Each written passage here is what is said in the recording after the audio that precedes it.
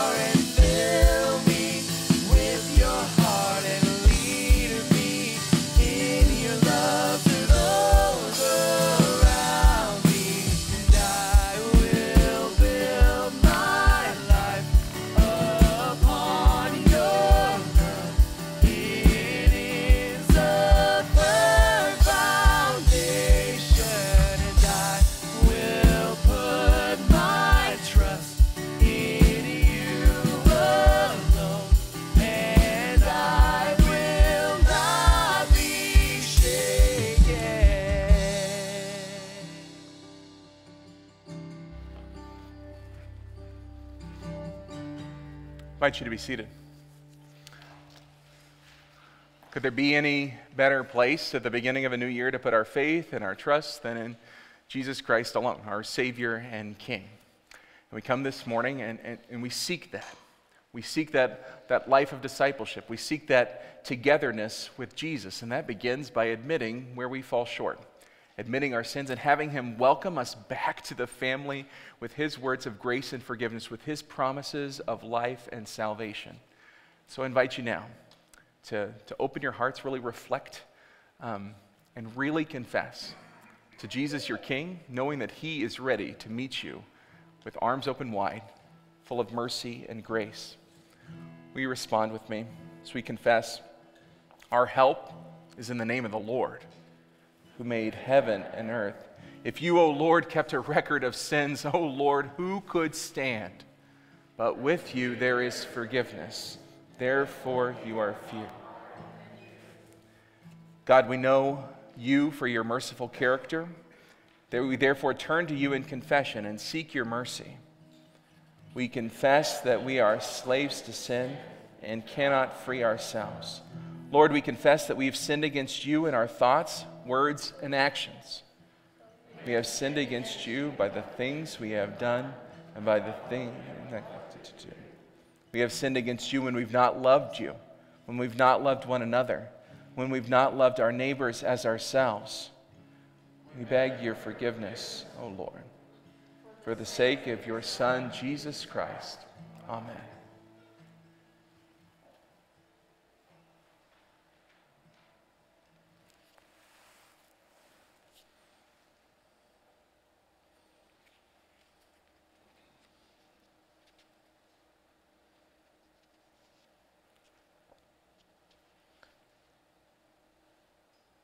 As you and I, as we together continue to reflect on our relationship with God, we sing our next song. You can remain seated.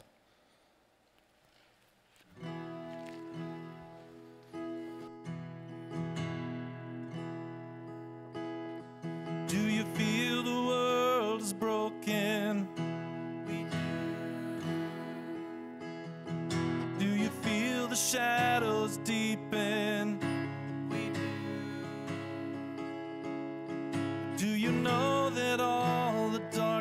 stop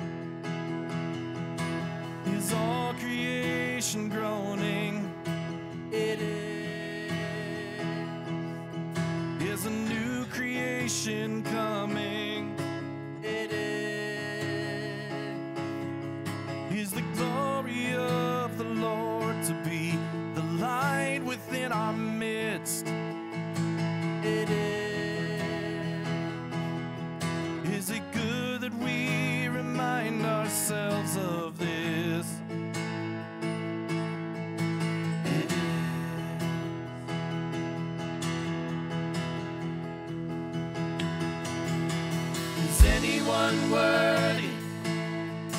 Is anyone whole?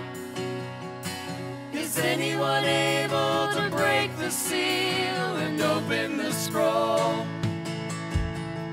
Lion of Judah, who conquered the grave,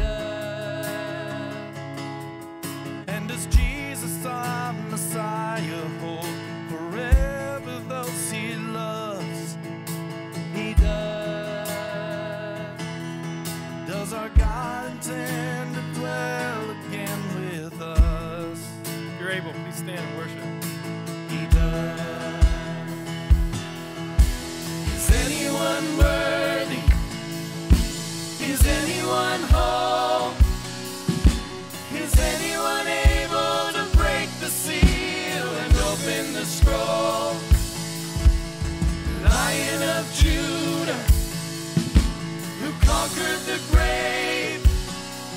He is David's root and the Lamb that died to ransom the slave from every people and tribe and every nation and tongue.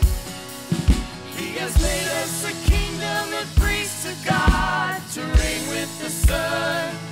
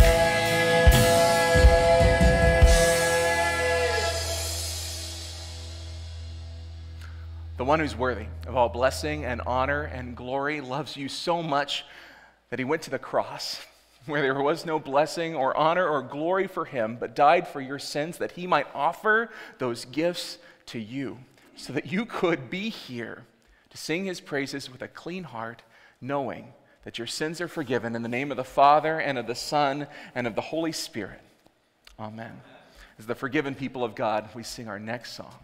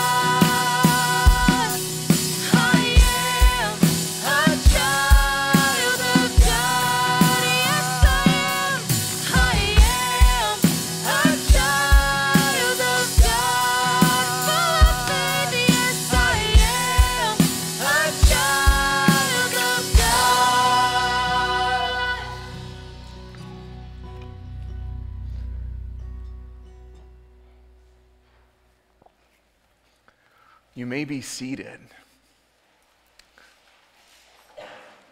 As those who, by faith in Jesus, by grace, are able to call ourselves children of God, we also get the privilege of going to God our Father with all of our cares and concerns. So we open our hearts together now to pray. And uh, at the end, uh, there'll be a chance for you to pray too. I invite anyone who came with cares or concerns they'd like to share this morning with, with us, with, with their Savior, with, with Jesus who takes our, our pleas and concerns to his Father's throne of grace to, to pray with us too. That you can be the, the prayer leaders too. I invite you to, to tag your prayer with the words, uh, Lord, in your mercy, so that we can make your prayer ours too.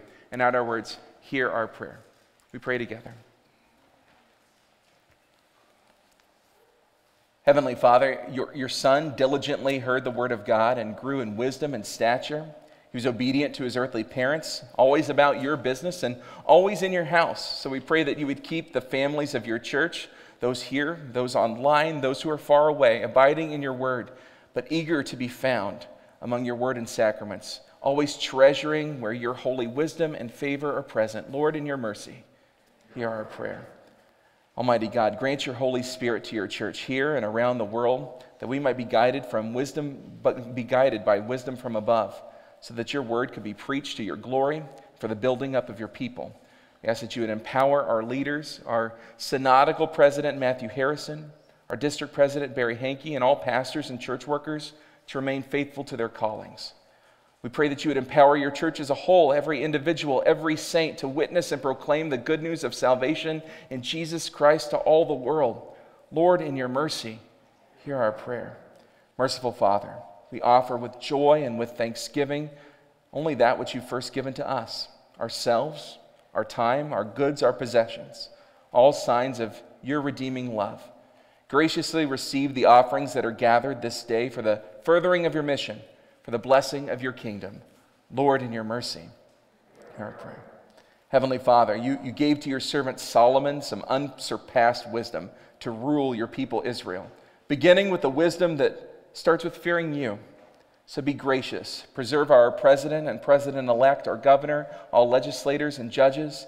Give leaders and elective officials for their wisdom for their tasks, to discern between good and evil, to govern this, this people in peace and quietness.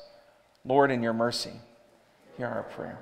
O Lord of life, we pray for all of those celebrating birthdays this week, especially Elaine Feldman and J.C. Jordan, Connie Williams, Hunter Beimling, Lance Gibbons, Taylor Fannin Steele, Katie DiMercurio, Katie Enert, Kathy Jackson, Matthew Carver, Stephen Parker, David Bailey, and Carol Garner. Fill them each with joy as they celebrate and as they rejoice in their Savior who was born for them. As they continue to experience your earthly blessings, may they continue to be a blessing through every aspect of their lives.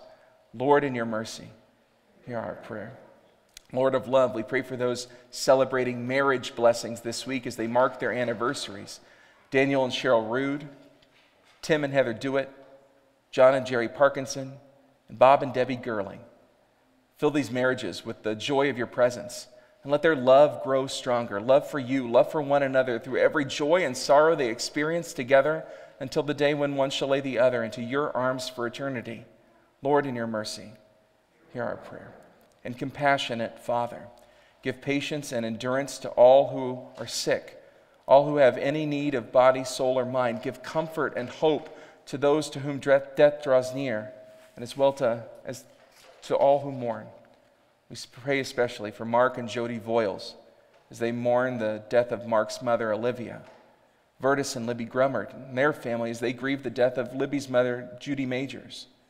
We continue to lift up to you for healing Bobby and Debbie Bolton, Rosalie Brakhage, Alan Shelley Croxton, Pam Dewitt, Carol Garner, Hudson Greer, Linda Maish, Dave Meyer, Steve Miller, John Parkinson, Rita Paul, Elsie Schatz, Don Shirt, Carlton Schmitz, Jerry Shrum, Connie Williams, Daryl Zamalin, and all others on our prayer list and in our hearts.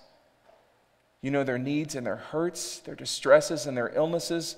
So we pray, O Lord, that your healing would attend each of them according to their needs of body, soul, or mind. Lord, in your mercy, hear our prayer.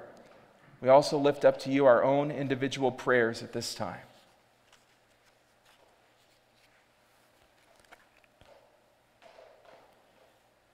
Lord, thank you for this new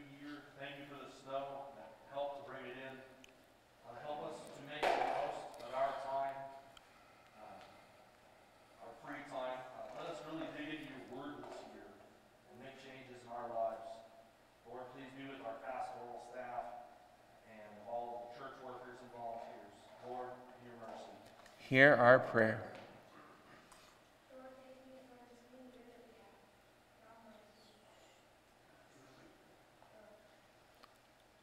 Lord, in your mercy, hear our prayer.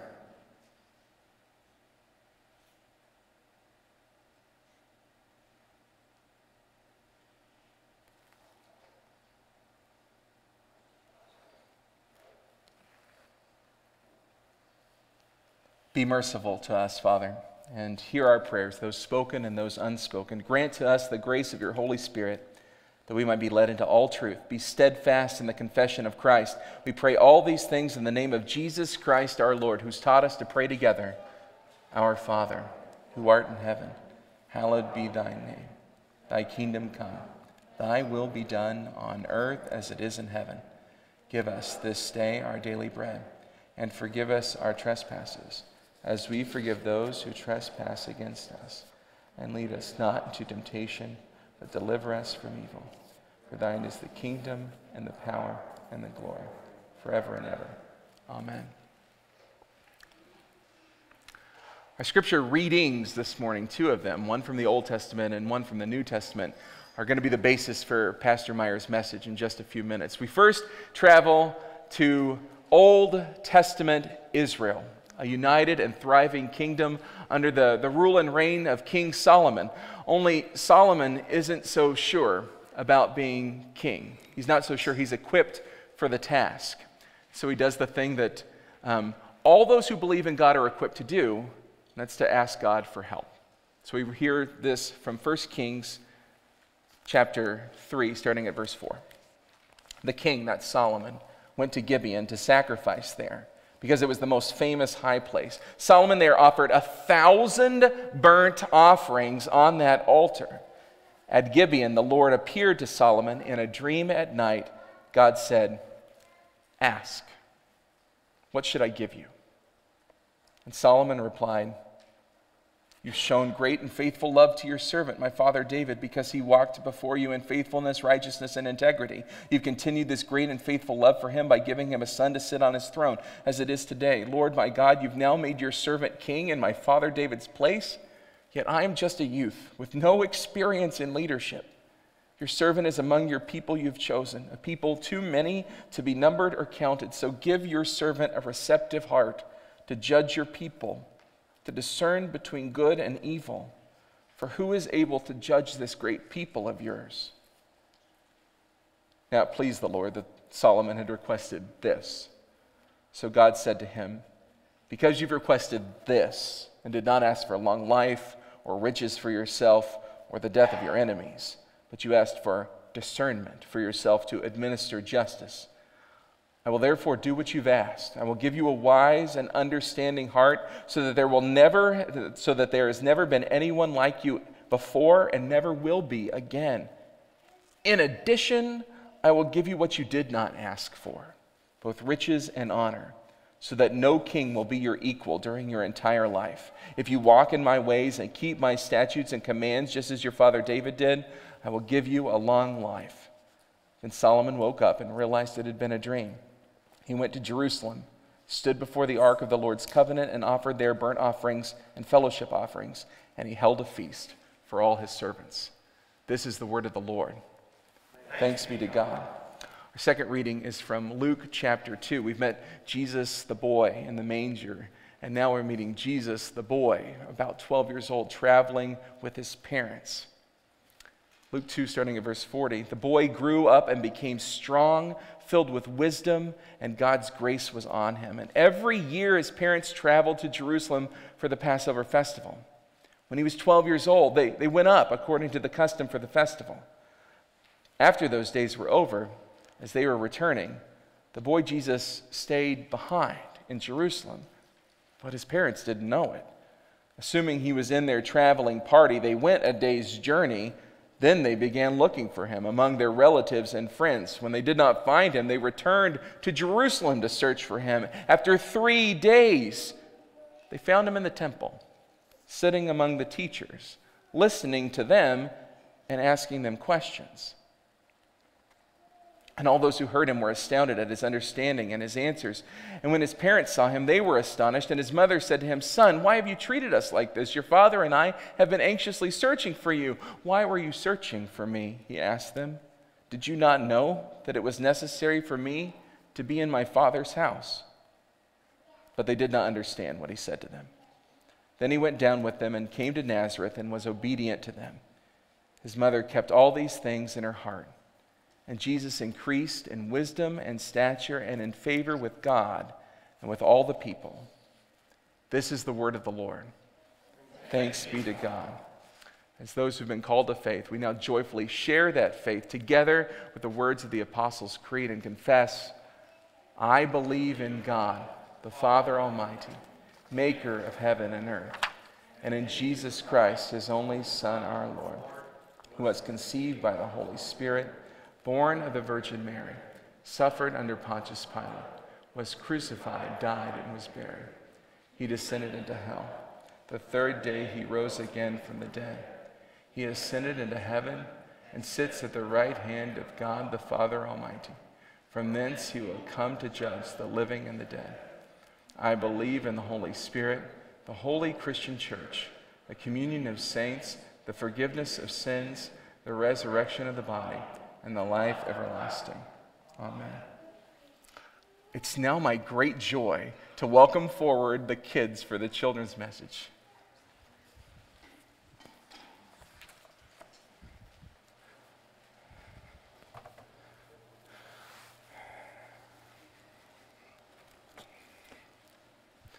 Find a square, any one that doesn't already have someone else on it is a good one.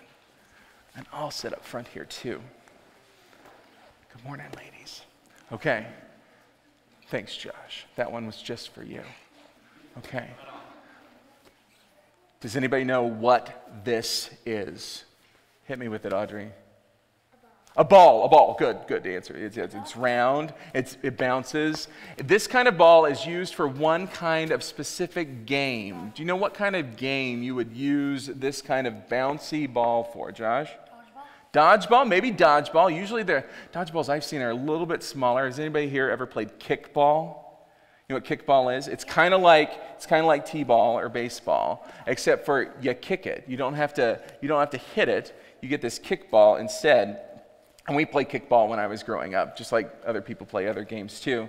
Uh, and on kickball, just like t-ball or baseball or or volleyball, uh, you need two teams and teams are made up of lots of different people. So when we would play kickball when I was a kid, uh, there would be captains. And the captains had the special job of choosing who was going to be on their team. Have you guys ever been picked for a team before?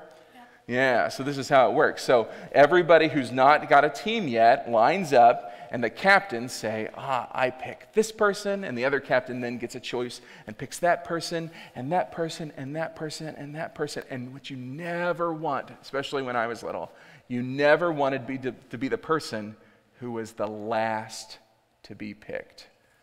Can you imagine how that would feel if you weren't the first or the second or the third, but at the end, when there was nobody else left to pick, you're like, well, I guess I'll take Pastor Brakhage. Yeah. Yeah, that doesn't make anybody feel really good. It's cool to be on the team and it's cool to play kickball, but you're, you're left thinking, boy, nobody wanted me. I was the last to get picked.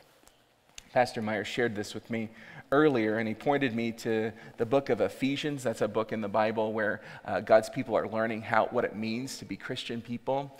And uh, the writer of Ephesians, Paul, reminds everybody you know what?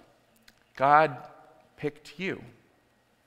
Even if you're the last to be picked for kickball, maybe because you're not very good at kickball, or you, have never even seen a kickball, or you don't even know how the game is played, and so maybe you're not the first to get picked for kickball. Or maybe you're not the first to get um, uh, in the front of the line to go to lunch at school. Or maybe you're not the first in a lot of things, but God has picked you. You're first in God's heart. God knew you, and He says, I pick you. In the water of baptism, He knew your name, and He said, I pick you, and you're on my team. You're, you're together with all of my people. You're, you're, you're, with, you're with me. Jesus is our captain, and he brings us all together for one mission to show everybody how much Jesus loves this world. And can you imagine playing kickball if your whole team wasn't there? What if one team had all their players and another team didn't have enough? If not everybody was there, they'd have a hard time. They'd have a hard time playing if not everybody was there for their team. And that's sort of like our team, too. When Jesus calls us to be on his team, he wants us to be there. He wants us to show up. He wants us to be ready to play. He wants us to be ready to join with everybody else and be a part of this team that He's called us to. So, as we thank Jesus for picking us, for putting us on this team, we also pray for those who aren't here, who we want them to be here and, and make this team as big and as good as it's meant to be in Jesus Christ. Will you pray with me? I'll say the words and you can repeat them back to God. Dear Jesus, it's so good to be on your team. Thanks for picking me in baptism and joining me with all these hearts who believe in you. We pray for our friends who aren't here, and we hope that they come back soon. In Jesus we pray. Amen. You can go back to your seats.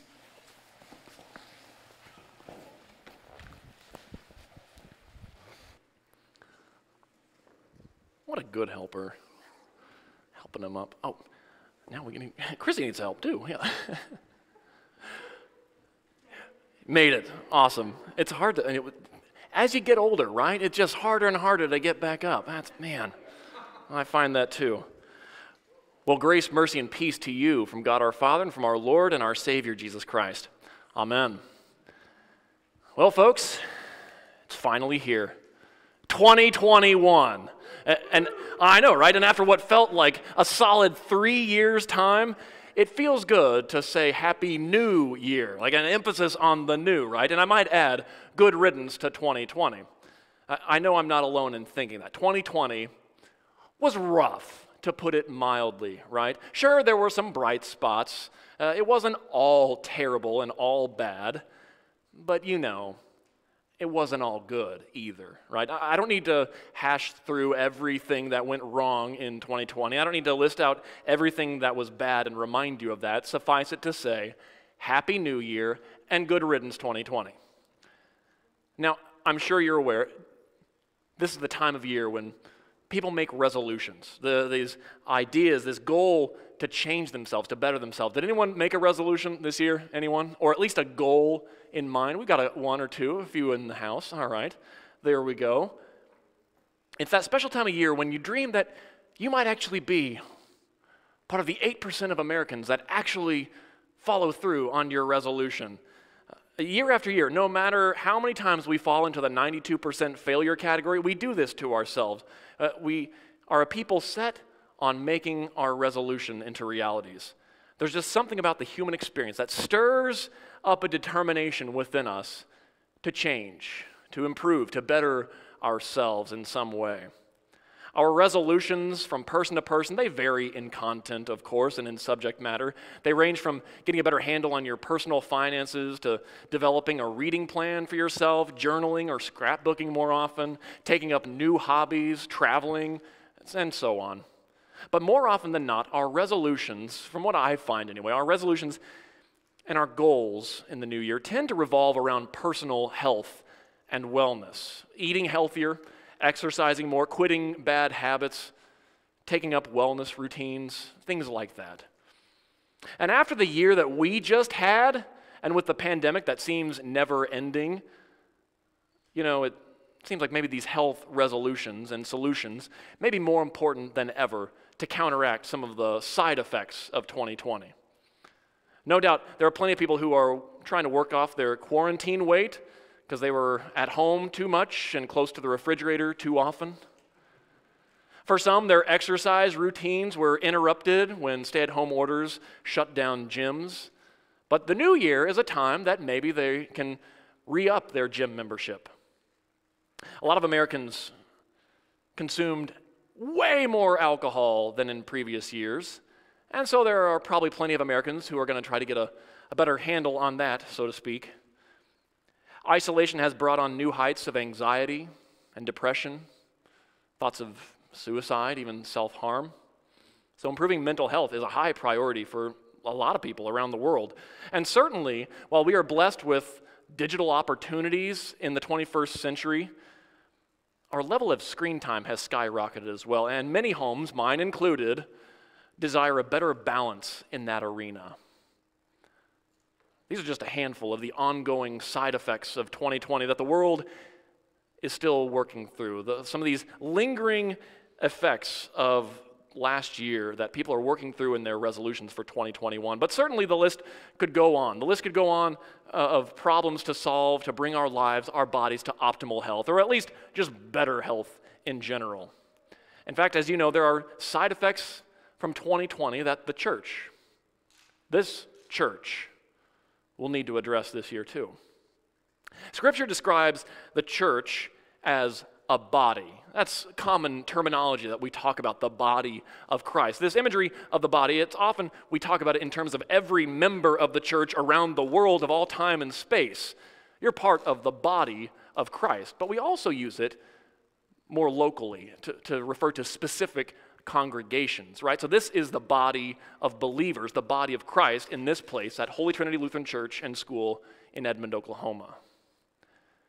And so I, I was imagining the other day that as we consider New Year's resolutions, this body imagery, you would think, should only urge us to consider health and wellness in a new light. If we care and are concerned enough about our own personal health and wellness for our own bodies, should we not also, if not more so, be concerned with the health and wellness with the body of Christ, the church? And for that reason, the, the first three weeks of 2021, our sermon series will be called Healthy Church. And to guide us in our goal of being a healthy church, it's, I think, helpful to have an example to aspire to.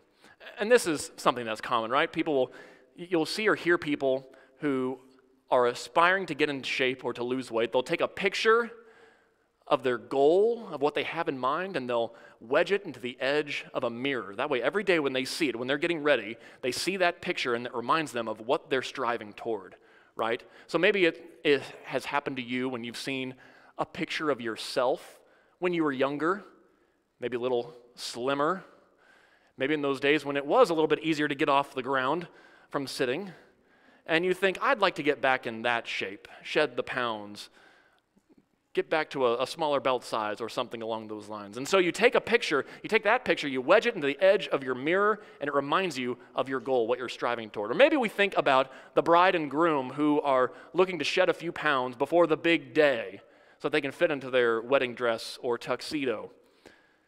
And they'll wedge that picture of the, the dress or the tux or even a picture of their beloved. They'll wedge it into the edge of the mirror, and it reminds them of what they're working toward. It'll remind them of why they're putting themselves through such misery and torture with all the dieting and exercise.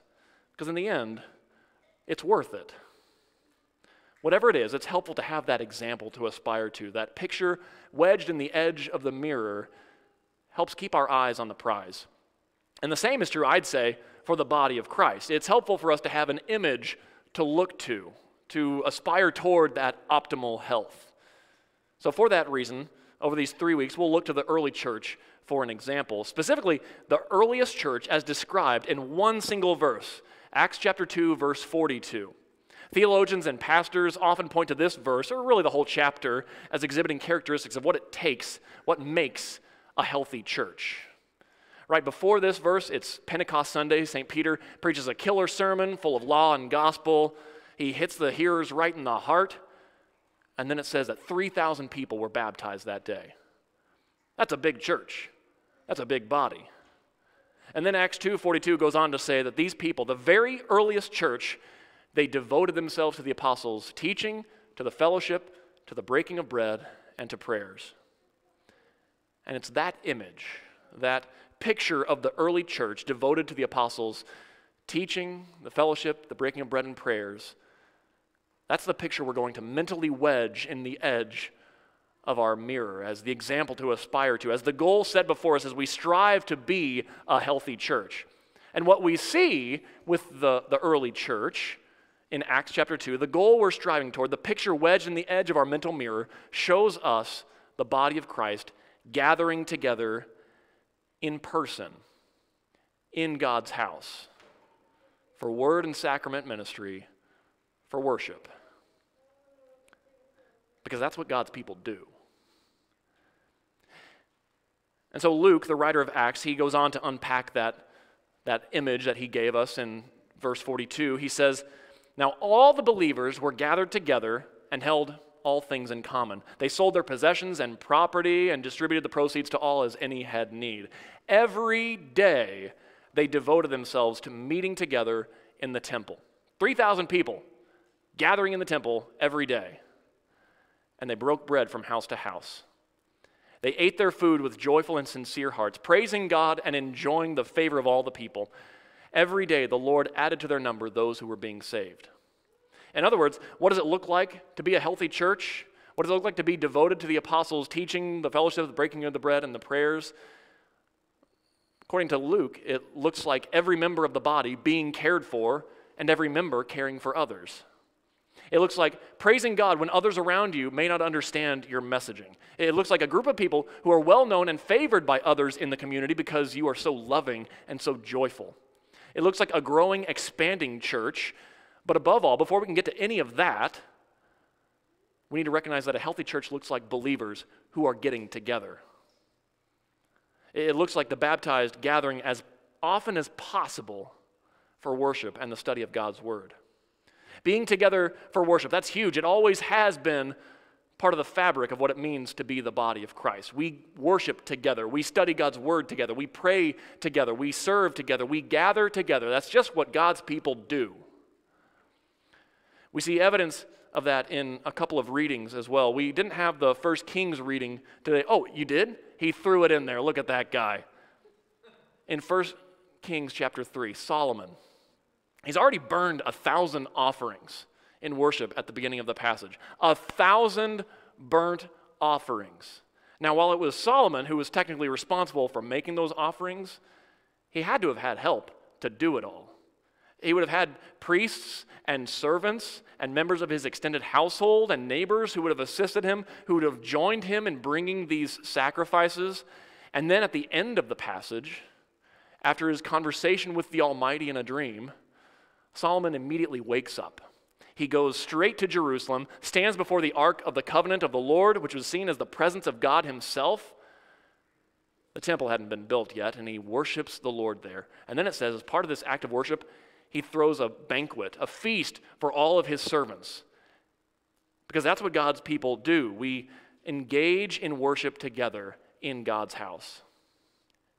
In our gospel reading that Pastor Brakhage read, the, the Holy Family, we might call them, they're traveling to Jerusalem for worship. They're traveling there to celebrate the Passover feast, as well as there's another feast that happens during that same time, the Feast of Unleavened Bread, it was called. Now, what's amazing about it is that it says that they did this every year, the Holy Family did. Uh, it was only required of the men to participate, to make that pilgrimage for Passover and the Feast of Unleavened Bread. It was only required for the men to do it, but Mary apparently was doing it every year too. And presumably, Jesus and his siblings would have gone along for the ride too. We're only told about this specific instance, but it seems likely and implied that they were there too. And presumably, they also stayed the prescribed minimum of at least two days for these feasts too. The, the two feasts together uh, spread a course of seven days, but you only had to be there for the two days. They did all this every year because God's people engage in worship together in his house. That's what we do. But then Jesus takes it a step further. He was only required to be there two days, but ended up being there the full seven days for the two feasts as well. Because while his parents began the trek home, caravanning in groups of women and children and a group of the men, while they started their way home, Jesus stayed in Jerusalem. And only after they went a day's journey, when they decided to make camp for the night, only then did they realize Jesus wasn't there in either of the groups. So they make the, the trek back another day's journey back to Jerusalem. And then, only after three days after they got there of finding him, uh, they finally find him in the temple. and he's there, he's wowing all the rabbis and the teachers of the law. And when Mary and Joseph ask him about this, Jesus responds, Why were you searching for me? Didn't you know I, it was necessary for me to be in my father's house? In other words, where else did you expect me to be? This is what God's people do. God's people engage in worship together in God's house. The body of Christ gathers for worship in God's house, in your Father's house. It's what we do, period. And that, my friends, is why the image of the Acts 2:42 church is wedged in the edge of our mental mirror for this year and beyond because let's face it, that's one of those side effects of 2020 we need to work on. Just as it felt like we were gaining a bit of momentum, like the Spirit was really taking root and working in a powerful way in Lent and with the red letter challenge, suddenly the proverbial rug got pulled out from under us and things came to a screeching halt when the pandemic came along. The stay at home orders meant that we were online only for two months. And while I'm grateful to our staff and our volunteers who helped make that possible, who assisted in producing some of the best online worship I've seen in the LCMS, while we are able to pivot and still bring the Word of Christ to so many homes in a difficult time digitally in 2020, it's not enough. It's not enough because God's people are meant to engage in worship together in His house. That's how it's supposed to be. The church, by definition, is meant to be an assembly of believers gathered together. The body of Christ, if it is to be the best version of the body, it must be reassembled. Online worship has been a great band aid, but it's not going to stitch the body of Christ together. Now, this isn't to say that we've somehow not been the body of Christ over the past nine months. It's not that we've somehow ceased being the church of God. It's not that our, our worship and our confession and absolution has somehow been ineffective or that God's word has returned to him void. It's just that, let's be honest, it hasn't been ideal, has it? There's something missing, and you know it. We've not been the healthy church that any of us desires to be. We've not been the healthy church Christ redeemed us and called us to be in our baptism. We've been a church surviving. Sure, a church victorious in Christ, but in practice, a church limping along as best as we can. And that's fine. We can continue that way. We can continue hobbling along as necessary, but only if it's necessary. Not simply because it's convenient to do it this way, and certainly not out of defiance either. And I bring that up specifically that we can do it if it's necessary, but not if it's convenient alone and not simply because of sheer defiance. I bring that up because as your pastor who sees another side of life on social media, I don't post a lot on social media these days, but I see a lot of posts on social media. And for better or for worse, I've built up in my mind an assumption and a fear. Again, it may not be right of me to do this, but I'm a sinful human being. You probably do the same thing. You make these assumptions and these fears based on what you see. And for me, I might have gotten it wrong, but I've got an assumption and a fear. My assumption is that there are some who are angry about the mask mandate and the RSVP system that's still in place, and that out of that anger, or at least that frustration, there has come a complete refusal to return to worship anytime soon, if ever again. Again, that's just an assumption based on what I've seen. But if that assumption is accurate, then I'm speaking directly to you who are at home. If that's you, your eyes aren't fixed on Jesus, and it's not building up the body of Christ. That might have stung a little bit. That's okay. That's what the law does. Don't, don't tune me out just yet. So that's my assumption. My fear, on the other hand, is that there are some who have gotten so used to the convenience of worshiping in their living room that there's little hope of returning when all is said and done because it's so much easier to just stroll right into the living room, turn on the TV and the smart TV and there it is. And maybe even still, maybe you have been attending regularly, but you still find those lazy Sunday mornings where you just want to be there in your living room. I get it. I do. I understand that. But the reason I have this fear that some won't return because of the convenience is because I see people posting as if all of life has returned to normal. As if everything's the same as it always has been, maybe with the addition of a mask. Everything's the same except for the fact that we haven't seen you in worship, or at best, rarely, in the past nine and a half months. And if that fear is accurate, that there's no real plan to come back, then I got to tell you, your eyes are not fixed on Jesus, nor are they fixed upon building up the body of Christ. But again, don't stop listening just yet. The law is supposed to hurt sometimes.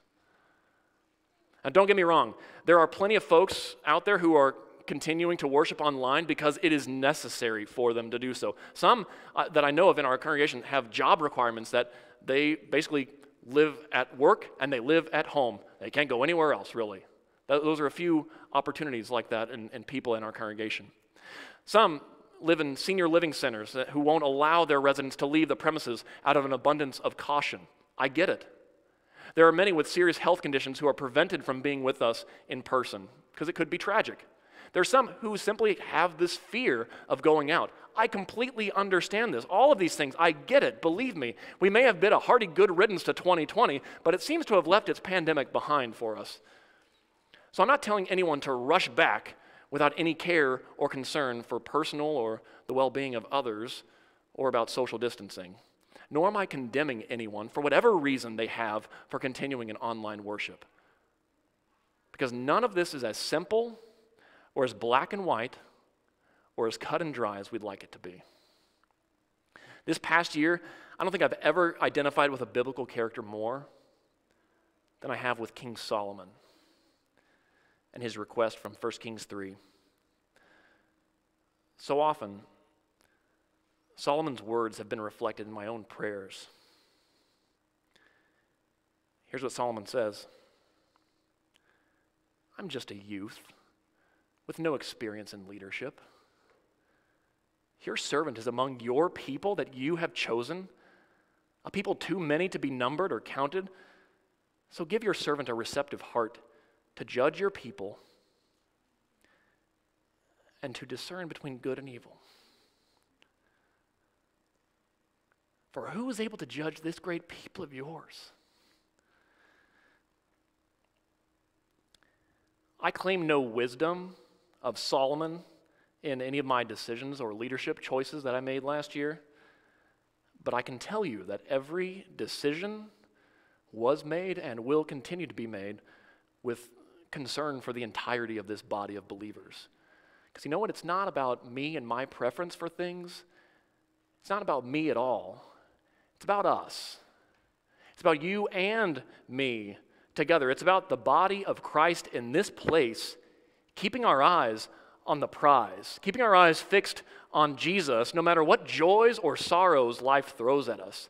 It's about being the healthy church Christ has called us to be and redeemed us to be. It's about growing deeper in our love for God so that we can more fully love one another in Christ's church and more mercifully love our neighbor as ourselves.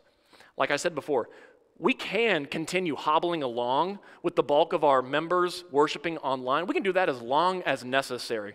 Thanks be to God and the technology He's given us. But that's not the goal. And I think you understand this as well. You know that's not ideal.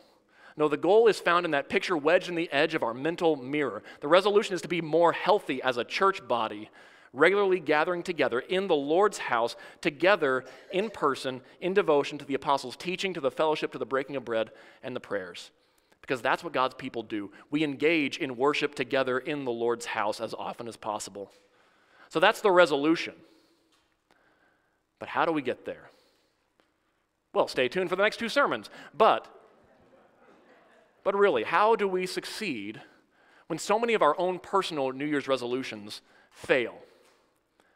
How do we succeed, especially in this pandemic, when it's not safe for us all to just rush back all at once?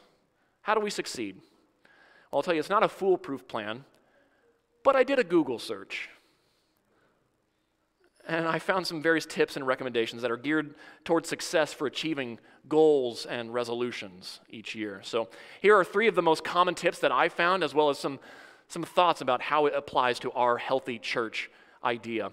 Tip number one focus on your goal, or as I would put it, keep your eyes on the prize, focused on what you're trying to accomplish. Keep your eyes fixed on Jesus. Keep your eyes fixed upon Him who saw you as a prize worth winning, a prize worth dying for. Keep your eyes fixed upon Him who, for the joy set before Him, endured the cross, scorning its shame, and is seated at the right hand of the throne of God. Keep your eyes fixed upon Him who is coming again in glory someday. Keep your eyes fixed upon Him who still comes to you even now in worship in the Father's house.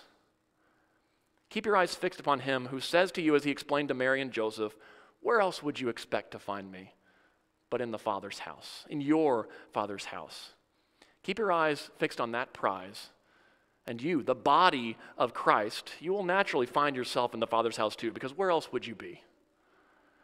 And as you keep your eyes on the prize, tip number two, develop a specific plan for achieving that goal. Because it's not going to happen overnight, no matter what your resolution is. It's not going to happen overnight it needs to be more specifically spelled out. So, for instance, don't just say, I'm going to lose weight in 2020. No, make a plan for a specific amount to lose each week or each month, and then go with that. In our case, with our resolution for being a healthy church, this means to start making a plan for returning to worship again. Start planning now for when you are going, going to return to worship again.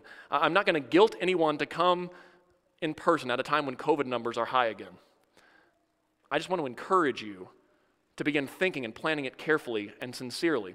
So if you're one who tends to forget about church on Sunday until the live stream notification comes up on your phone, start setting a reminder for yourself on your phone earlier in the week to remind yourself to plan to be here in service. And if you're someone who's at home, you've been away for whatever reason, really consider is it out of necessity? Is it out of defiance? Or is it out of convenience? Whatever the reason is, work through it and then set a date on your calendar to join us again. And if that date needs to be adjusted, that's fine. We'll still be here for you, I promise. But don't stop trying. In the meantime, come to drive through communion on the first and third Sundays of the month because it's been a while and you need it. If you're someone who's unable to get out because of health reasons or whatever the case may be, if you want communion, let us know. We are glad to bring it to you. And then, tip number three tell others about your resolution so that they can help hold you accountable. Because you can't do it alone. You cannot do these things alone. We need each other. Researchers have found that during a marathon, runners uh, they'll begin to dip in dopamine levels at certain points along the race. And with that dip in dopamine, that means that suddenly their, their excitement decreases. They lack the motivation to continue on. They lack the drive and eventually slow down to the point of wanting to just stop. And so, to counter that, many marathon runners strategically place friends and family members at specific mile points along the route. And then they, as they're passing along, they hear these words of encouragement that you can do this at a time when they're telling themselves, I can't do this. And this idea of these strategically placed family members, this has helped increase the dopamine levels and gives runners the boost, the vigor they need to continue. And the same is true for why we need each other in the body of Christ. There was a Gallup poll recently that shows that throughout the, the year of 2020, the only segment of the population that was faring better in mental health, the only group out of the entire United States, were those who were attending in worship each week. We need each other. We need each other for things like resolutions, as well as races, as well as mental health wellness. We need each other because we might mess up. In fact, we probably will. But when you do mess up, keep trying and stick to it and allow others to help you out because, after all, it takes a lot of time to undo old habits as well as to build up new habits. So tell others about your plans to return. Or tell others about your reasoning for delaying a return to in person worship. Maybe the technology of RSVPs is too confusing and frustrating for you. That's okay. Let us know. We'll help you through it. Maybe you are angry about the, the masks and the RSVPs. If that's you, that's fine. But please talk to us about it because festering about it and thinking about it at home isn't helping anyone and certainly not helping your spiritual life. But if you're someone who's afraid to come out during the pandemic, that's absolutely fine. We just want to connect with you better because you matter. No matter what your situation is, you matter. You are a prize to Jesus. And so you're a prize to us. And in fact, you at home, you are a prize that so many people have been gathering for worship each week hoping to see you, hoping to see that prize once again. Which leads me to this final note. Those of you who are here today, if you thought that all that meant nothing about you, didn't apply to you, think again, because you're not off the hook. Because you're a part of the body of Christ, and half of your body has been missing for the past six months. What are you going to do about that? I bet you know some of those missing members, some of those lost limbs that aren't showing up. So consider how can you help others plan their pilgrimage back to the Lord's house? How can you reach out to them in love, not in condemnation or in judgment, but with eyes on the prize? How can you help build up the body? Because we need each other if we're going to succeed at this. That's why God put us together in the first place. Folks, I have no idea what 2021 is going to bring, but I do know that every new year, every new day draws us one step closer to when Christ, the bridegroom, is going to come again, returning for his bride, the church. So, in the meantime, we need to prepare for that big day. So, we set our sights on that picture wedged in the edge of our mental mirror as we prepare for that big day. And by the Spirit's sanctifying work, we can keep our eyes on the prize. We can be a healthy church, a body gathered together in devotion to the apostles' teaching, to the fellowship, to the breaking of bread, and the prayers. God grant this for Jesus' sake. Come soon, Lord Jesus. Amen. Invite our band forward and Pastor Brakhage, take us home.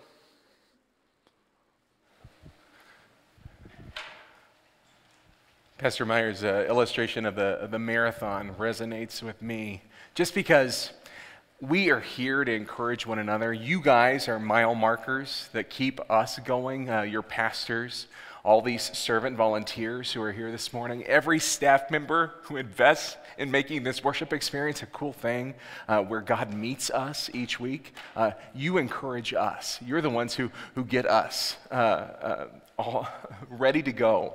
Uh, you're the reason we come. Um, and so, uh, one of the ways uh, you really jazz me up is when I get to hear your voices, when you sing and when you proclaim the good news of Jesus. So I invite you to stand. And for those here in this room and for those who are watching at home, let them hear it. To God, the Father, Son, and Holy Spirit be all honor and glory in His holy church forever and ever. Amen. Christ. Jesus said, Go and make disciples of all nations, baptizing them and teaching them to observe all I have commanded you. Love God, love one another, and love you. The grace of our Lord Jesus Christ, the love of God the Father, and the fellowship of the Holy Spirit be with you all. Amen. We sing.